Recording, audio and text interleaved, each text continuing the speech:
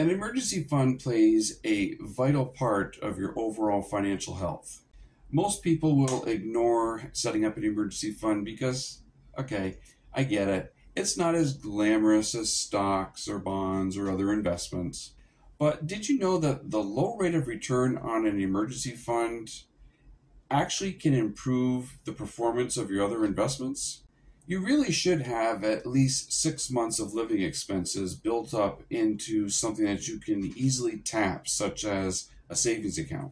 I know some of you are going to say six months seems like a little bit of a large amount of money to stash away in a savings account, but it's really meant for unexpected expenses such as car repairs, home repairs, or even a period of unemployment. But how does an emergency fund boost the performance of your other investments? So imagine that you have an unexpected $1,000 car repair, just as an example, and you have no emergency fund. You keep all of your money in a brokerage account, uh, individual retirement account, or other retirement account, or a 401k plan, or something similar at work. You could pay for this repair with a credit card, but unless you're able to pay for this charge on your next statement, you could be hit with a 20 plus percent interest rate if you carry a balance. You could also sell $1,000 worth of investments from your brokerage account, but that could mean selling an investment that has maybe lost money recently and it's poised to grow in the future. But if you sell now, you could end up owing taxes on any gains it's made and losing out on any gains that it could be making in the future. Another option is you could be withdrawing this $1,000 from your retirement account. That's going to open up some other scenarios too. If you're under age 59 and a half, you're going to be paying an additional 10% early withdrawal penalty.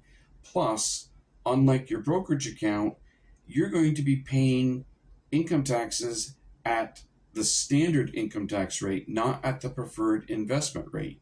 So, not having an emergency fund can be more expensive than settling for a low interest paying account that you can tap very quickly in an emergency.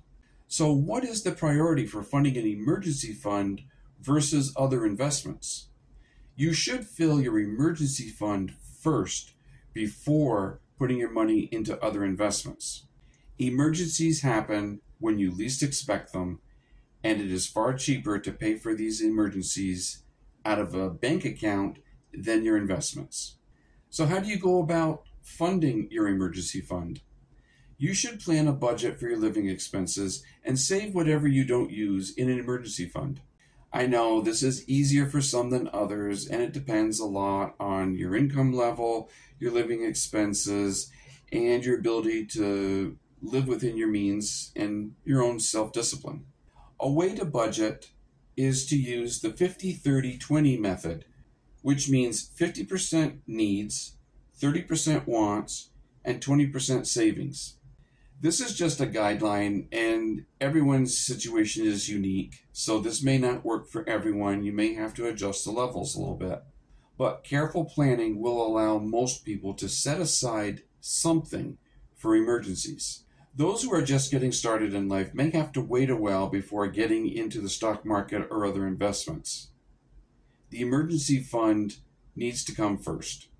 But building an emergency fund is very important and will improve the overall performance of your investments in the decades to come.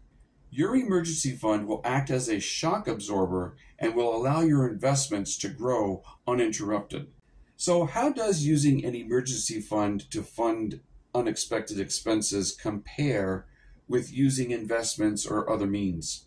To keep the math simple, the following graph will not assume sales taxes. It will assume a 10% early withdrawal penalty on retirement accounts and a 10% income tax rate. Your income tax rate will vary though. Spending $1,000 from an emergency fund will cost $1,000 plus any small amount of interest the account may have paid. Many accounts only pay 0.2% interest at the time of this video, so it is a very small amount. Withdrawing the money from a regular brokerage account may involve a brokerage fee depending on the firm you use, and any income taxes owed will depend on if the investment's sold at a profit. This will vary for everyone. Withdrawing from a retirement account for those who are under 59 and a half years old will mean withdrawing $1,250 to cover the amount of the 10% early withdrawal penalty and the assumed 10% income tax. Roth IRAs are different since there is no tax or penalty owed on contributions. For those older than 59 and a half years of age, about $1,111 would need to be withdrawn from a 401k or similar workplace plan to pay the assumed 10% income tax rate. But what about using a credit card? If you can afford to pay the $1,000 charge on the next statement, and if your credit card offers cash back, this may be the best option. Literally, a cash back option on a credit card is like an automatic discount. But if you end up carrying a balance, most credit cards charge at least 20% interest. And if you get trapped making only minimum payments, it could take you anywhere from 15 to 30 years to pay the balance down. You could easily end up paying two to three times the actual charge because of interest. Clearly, a credit card is easily the most expensive way to pay for an emergency like this. If any of you have any stories about how you've used your emergency fund, leave a comment in the section below. Until the next video, take care and remember that your money matters.